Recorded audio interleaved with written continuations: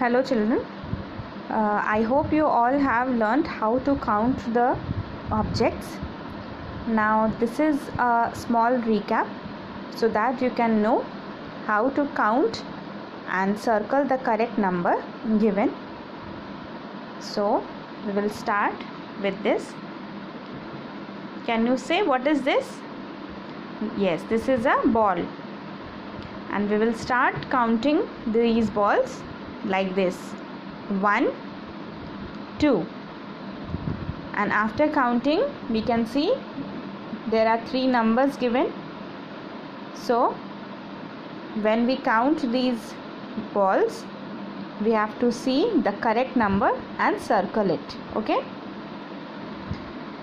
Now again we will count. 1 2 okay? So where is number 2 you can say yes this is number 2 and we have to circle the correct number. Okay? You know how to do this? Let's do the another one.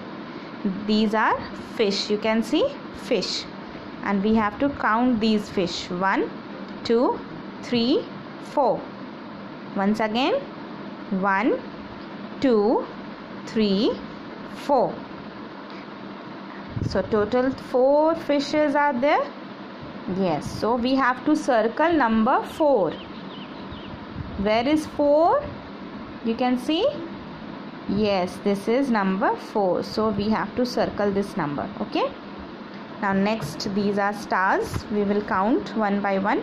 1 2 3 4 5 6 and we have to circle number 6 so which is number 6 this is number 6 we have to circle the correct number which is 6 now these are the boxes.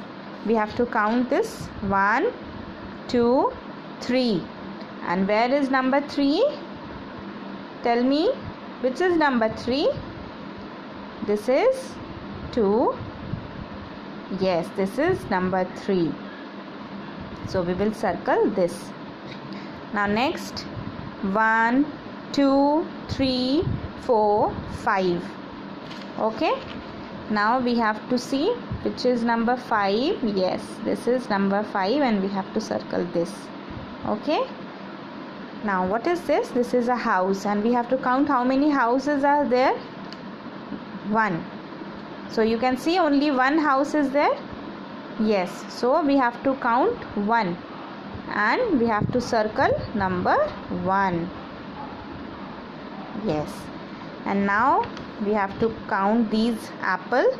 1 2 3 4 5 6 7 and we have to circle the correct number. Where is 7 yes this is number 7 okay. Now you know how to count the objects and circle the correct number. I request the guardian to kindly help these kids to do these activities at home in your rough copy